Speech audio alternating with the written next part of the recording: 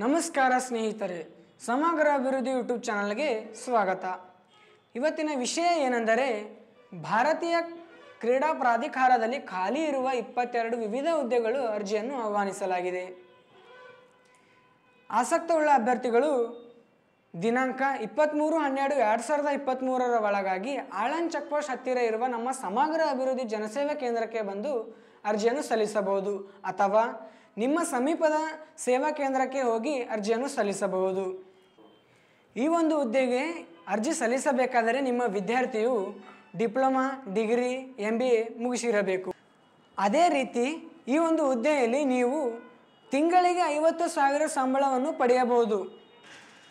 ಹೆಚ್ಚಿನ ಮಾಹಿತಿಗಾಗಿ ನಮ್ಮ ಸೇವಾ ಕೇಂದ್ರಕ್ಕೆ ಬಂದು ಭೇಟಿ ನೀಡಿ. ಧನ್ಯವಾದಗಳು.